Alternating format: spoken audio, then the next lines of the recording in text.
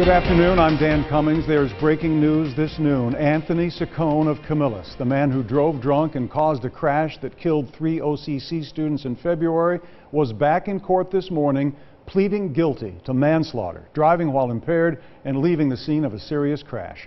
News Channel 9's Andrew Donovan is live at the Onondaga Court Courthouse this morning. So, Andrew, what happened in court this morning? Well, Dan, what's most notable is what Saccone did not agree to, did not plead guilty to, and that's murder, as he was originally charged and as he would have faced in a trial. And that's because the district attorney admits those charges are hard to prove before a jury and would be appealable in higher courts. So, to get this over with, on behalf of the families, the DA agreed to the top count of aggravated vehicular homicide for Saccone's drunk driving death of three OCC students. Now, Saccone did not apologize to the victims' families in court, but only only spoke when he challenged the language used in the plea agreement. The judge ordered that he and his attorney figure it out because plea agreements have to be made without hesitation. This drama playing out as the district attorney and the victims' families watched and waited. Mr. Saccone uh, learned uh, from Judge Doran's uh, demeanor that he was not in charge. It was not his show uh, like it was back in February it needs to be unequivocal.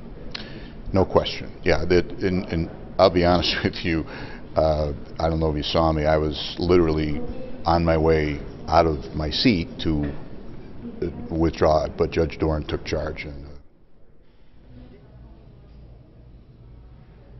Saccone will be sentenced in October, but he'll be back in court before that. He'll be back in court in August for the charges he faces after being arrested again this past weekend for reckless driving. Anthony Saccone getting a lot of attention throughout this entire case, but the community wants to remember the victims' families. Of course, they're the ones suffering the most. News Channel 9's Jennifer Sanders is with me in the courthouse. Jennifer, how do the families of the victims feel about what happened in court today? Well, plain and simple, Andrew, they don't feel like justice was served. Obviously, you saw that they were very hurt. A lot of tears, a lot lot of emotion. They don't feel like justice was served, but they do feel like what happened today really gives them a strong, strong sense of closure. We'll show you some courtroom video now. You can see the family very visibly shaken there in the courtroom as Saccone went back and forth with his attorney, as Andrew referenced earlier, before entering a guilty plea on the counts presented in court. Now, the family feels like Saccone has not shown any remorse since the crash happened on February 23rd.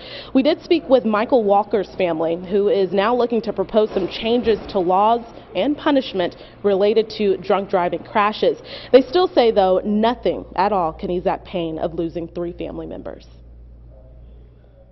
He took three valuable people from us. We will never know what they would have grew up to become. We just know that where they was at at this point, they was headed to do great things in life, and now we'll never know, and that hurts the worst.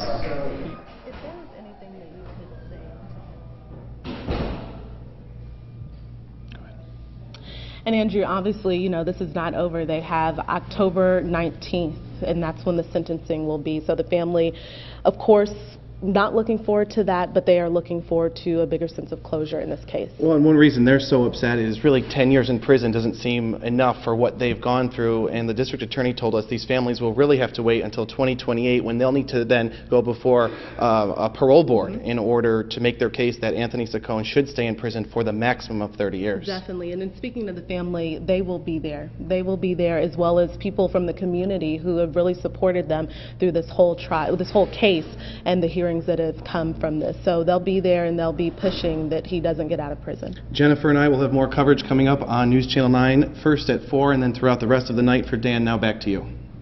All right, Andrew, Jennifer, thank you again. A minimum of 10, a maximum of 30 for Anthony Saccone after his guilty pleas this morning in Onondaga County Court.